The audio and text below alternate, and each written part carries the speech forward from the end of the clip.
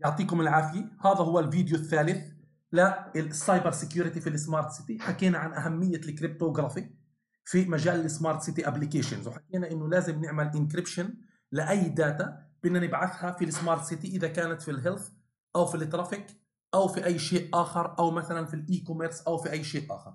فبالتالي لازم نعملها encryption بداية أخذنا شو معنى cryptography أخذنا مجموعة من ال techniques في ال cryptography من التكنيك اللي أخذناها اللي هي ال Caesar cipher حكينا ال Caesar cipher اللي هو عندي اللغة الإنجليزية مثلا من A ل Z فبنعمل shift بمقدار واحد أو اثنين أو ثلاث أو أربعة للغة. فبالتالي إذا عندي plain text كتبناه بنعمل shift للأحرف بمقدار محدد هذا بيكون متفق عليه ال sender وال receiver نفس الشيء بعدها أخذنا ال Playfair من ال Playfair بنشكل matrix 5 في 5 ولكن بنقسم الأحرف لحرفين حرفين.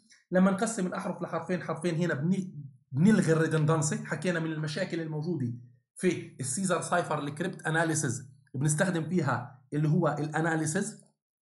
ليش؟ لأنه حرف مثلا ال E وال T بتكرروا كثير فبالتالي بنشوف مين ال cipher text الحرف اللي بتكرر أكثر وبنحط مكانه اللي هو حرف ال T أو ال E بعدها اليوم رايحين نشرح عن ال polyalphabetical ciphering شو يعني polyalphabetical cipher إذا تكرر حرف في ال plain text في ال cipher text ممكن يتعوض محله أكثر من حرف. يعني ممكن ال A في ال plain text يجي محله B في ال cipher text وممكن ال A إذا تكرر كمان مرة يجي محله C مش شرط إنه يكون زي ال Caesar cipher دائما ال A بيجي محله B في ال plain text في ال cipher text من الأمثلة على ال polyalphabetical cipher شيء بنسميه اللي هو السيزا اللي هو ال Vigenère cipher ال Vigenère cipher هو عالم فرنسي حط matrix اسمها ال Vigenère matrix هذه ال matrix من A ل Z ومن A ل Z. هلأ لو بدي أجي أعمل مثلا encryption لكلمه محمد. لازم أعطيك ال key هذا ال plain text محمد. ال key مثلا قلت لك إيه ZO فبتيجي بتقول لي طبعا زد أو زد أو زد أو زد أو هذا هذا هذا ال plain text هذا ال key فبتيجي بتقول لي ال M مع ال Z وين ال M؟ هي ال M. هي ال Z فبيجي محلها حرف L ال O مع ال O. شو بيجي محل ال O مع ال O؟ هي ال O وهي ال O. مثلا بيجي محلهم حرف ال C. ال H مع ال Z. هي ال H مع ال Z. مثلا بيجي محلها حرف ال E. وهكذا. هسه شو اللي بيميز هذا؟ إنه ال M مع ال Z بتعطيني ال والأم مع الأو بتعطيني حرف مختلف. فبالتالي ممكن إنه ال M في ال plain text نعوض بدالها أكثر من حرف في ال cipher text. هلأ في طريقة ثانية. إنه أنا افرض مثلا بدي أقول لك عندي اللي هو cipher text اذا أنا أعطيتك ال cipher text مش ال plain text أعطيتك ال cipher text M O G Z D وأعطيتك ال key اللي هو fork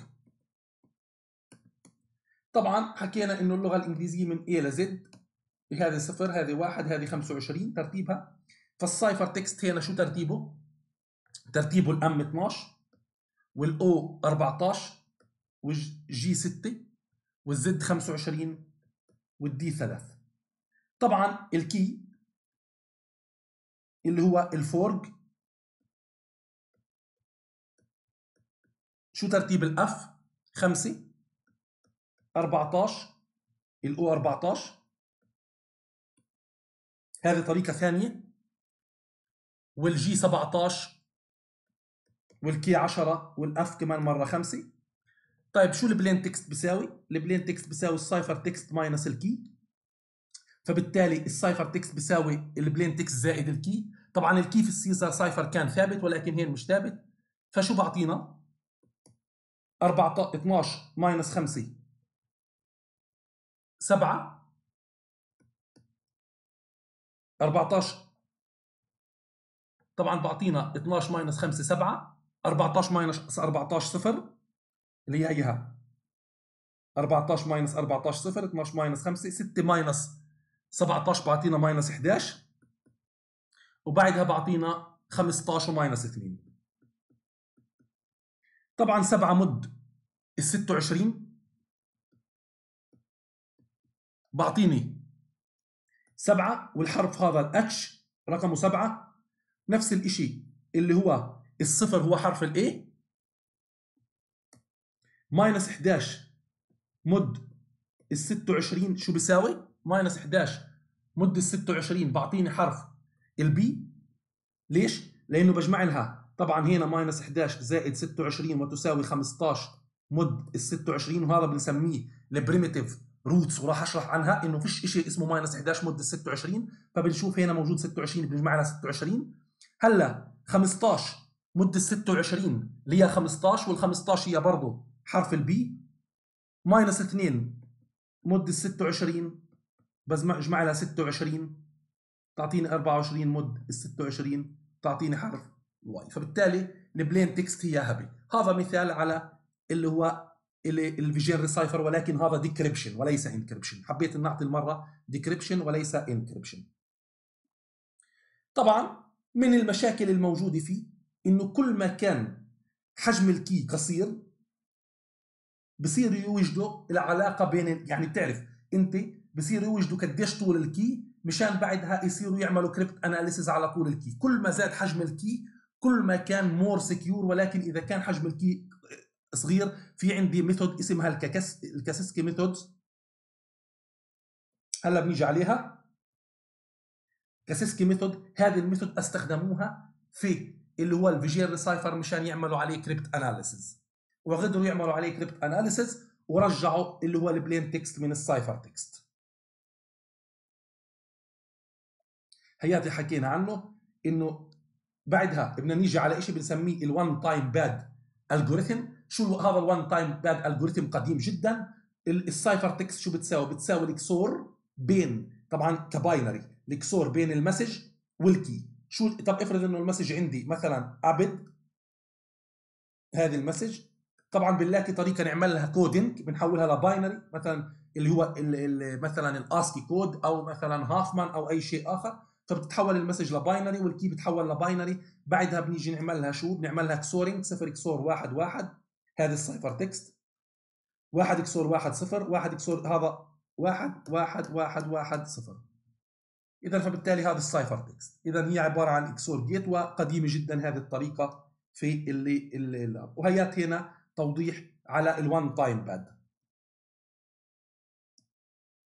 هاي ال one time pad algorithm وهو سهل جدا. طبعا efficient algorithm اليوم رايحين ناخذ حكينا ال cryptography بتستخدم مجموعة من ال techniques. من التكنيك اللي بتستخدمها ال cryptography شيء بنسميه ال transpositions شو يعني transposition في ال cipher text؟ إنه إحنا بنعيد ترتيب إيش؟ بنعيد ترتيب ال cipher text ال plain text. يعني أنا عندي المس... مثلا إيه محمد ال plain text.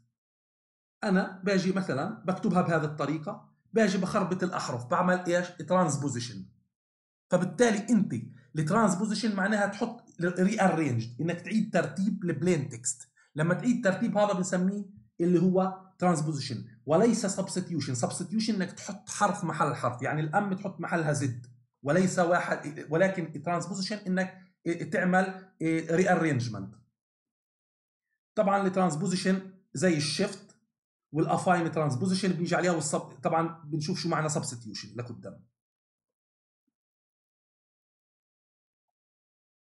طبعا من الأشياء الموجودة عليها افرض إنه أنا عندي message meet me after the toga party فأنا بكتبها بشكل بهذا الشكل meet me after the toga party يعني بكتبها بشكل زجزاج مثلا وبقرأها بهذا الشكل. فهذا ال cipher text. يعني بتكتب بطريقة ممكن تكتب عمودي وتقرأها أفقي هي شو معنى؟ transposition.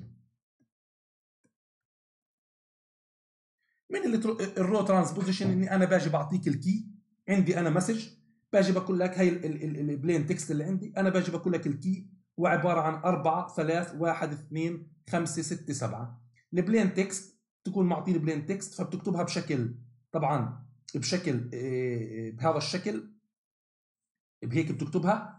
بعدها لما تقرأها بتيجي تقرأها بهذا الشكل إنه أول شيء تقرأ ال row ال column الأول T T N A بعدها الثاني A A كذا كذا. بعدها ثلاث بعدها أربعة. بالتالي بتكتب row row by row ولكن بعدها بتقراهم column column حسب الترتيب ال keys اللي أنا بعطيك إياه. هذه الطريقة اسمها transposition ولكنها بسيطة جدا حتى الآن.